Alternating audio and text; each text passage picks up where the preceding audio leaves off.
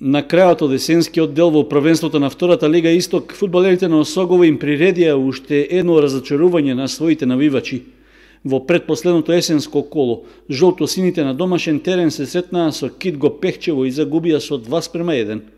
Резултатот е вистински одраз на распоредот на силите на теренот, со оглед што гостите покажаа поголема иницијатива и со погодокот во 30-та минута заслужено го дочекаа крајот од полувремето со водство од 1 спрема 0.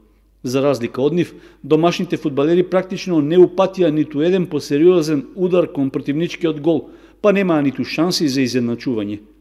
Во вториот дел дојде до известна промена во играта на Осогово, па во 54-та минута Коцев успеа да го совлада гостинскиот голман и да донесе некаква надеж за освојување барем бод. Сепак, во последната минута од надпреварот, Гостите уште еднаш ја затресоа мрежата на жолто-сините и обезбедија три бода за сигурен пласман во средината на табелата. Осогово во моментот е на предпоследното место со само 6 бода. Во последното коло од есенскиот дел, нашата екипа ќе гостува во Прилеп против Победа, екипа која исто така е на дното, но со 8 бода е едно место повисоко. За разлика од Кочанскиот второлигаш, третолигашот Слога од Виница е есенски шампион – Со максимални 30 бода, без ниту еден пораз во есенската сезона, Виничани заслужено се на првата позиција пред конкурентот Овчеполе. Потврда за нивниот успех е што во последното коло во Струмица тие ја победија Тиверија со 5 спрема 0. Уште еден катастрофален пораз доживеа фудбалерките на женскиот фудбалски клуб Кочани на домашен терен од екипата на Деспина од Прилеп. Прилепчанки им ја преполнија мрежата на нашите девојчиња и на крајот заслужено се радуваа на победата од 12 спрема 0.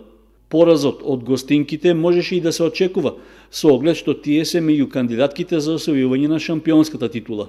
Сепак, примените 12 гола доволно зборуваат за односот на силите на теренот и за можностите на нашата екипа. Во следното, предпоследно коло од есенскиот дел, ЖФК Кочани ќе гостува во Битола на средба со Атлетико, екипа која е едно место подолу од нашиот тим. Викендов во Белград се одржа меѓународниот джудо турнир Србија Опен 2019, на која учествуваше и нашата кадетска репрезентација во машка и женска конкуренција.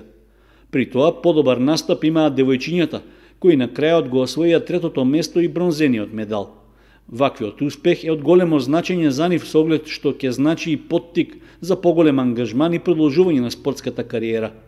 Кадетите пак не успеа да влезат во полуфиналето и да обезбедат медал, откако предходно загубија од А составот на Србија.